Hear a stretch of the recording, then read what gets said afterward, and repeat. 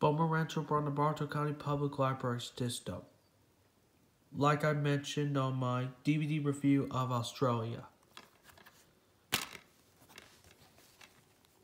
And unfortunately the case is messed up a little bit, but the disc will still play fine.